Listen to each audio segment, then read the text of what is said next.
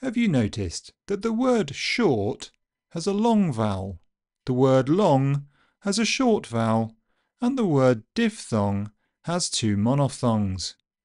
Well, let's see what we can do about that. Shot vowels, anyone? Nah, didn't think so. Welcome to the POG. Hello. This week I'm on class 3 of the pronunciation course, which is all about short vowels. It's one of the few things that everyone seems to agree on in phonetics.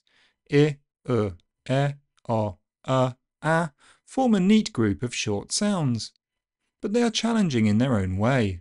In particular, there's the triangle of sounds I, U, A, which orbit the schwa in the middle, and these are difficult for a lot of learners because they require a placement of the tongue that is in between two sounds. I is in between E and E, U is in between E and U, and A is in between E and R. You can see pictures of these positions on the vowel chart on the podcast page of the Pronunciation Studio website or on our YouTube channel. Another tricky thing about some of these vowels are their spellings.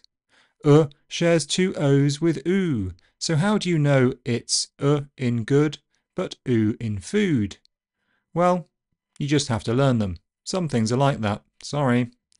The uh sound has a lot of O spellings, so don't round the lips in things like flood and love. And I think a lot of learners are tempted to say E when they see one letter I. But in English, these are lower, e, like in pin. Of course, there are some weird spellings of that sound too, like in women and busy. But on the whole, if you learn the mouth positions and spellings along with any exceptions, these short vowels should be pretty straightforward. Well, I'm glad that's in the bag. Wait a moment. Did I just say glad? And then bag? Hang about. That's supposed to be short ah, isn't it? Like in back. Bag. Back. Something smells bad here.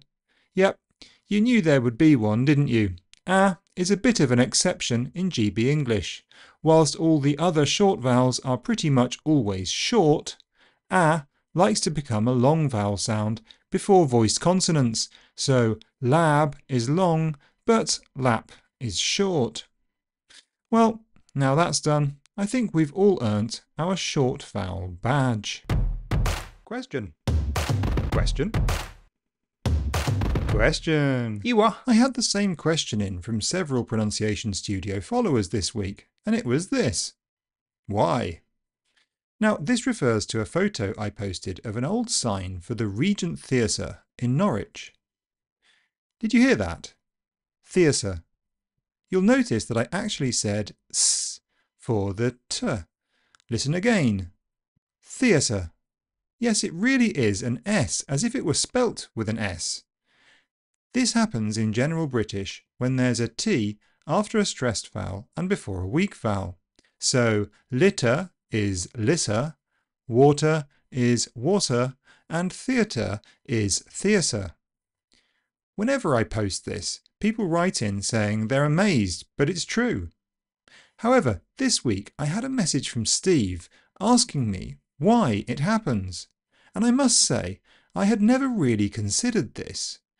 The clear roots of GB English, or Standard Southern if you prefer that name, are from Cockney and RP. Now, if you say theatre in Cockney, you'll get a glottal stop, theatre. And if you say it in RP, you'll get an alveolar t with possibly a little bit of aspiration, theatre. So how did we end up with s in GB? Well, the process starts as affrication, so the t gets a little s after it. Ts, theatre. And then it just goes the whole hog and becomes s, because nobody really notices the difference. Theatre. Especially when you say it quickly like that. Theatre. It is found in some accents. Scouse, theatre, and Brummie, theatre. So why is it spread to GB? I don't know, but I guess it's a bit like this. A glottal stop sounds too casual, theatre, and a slightly aspirated T sounds a bit too posh, theatre. A voiced d or flap sound American, theatre. So I guess it's gone in the only direction that is none of those, a softer, splashier T. But if you have a better explanation, please do send it in. Likewise, if you have a question, do get in touch via the socials, via the Pronunciation Studio website, or email me joseph.hudson at pronunciationstudio.com. Thanks for listening. Speak soon. Ah!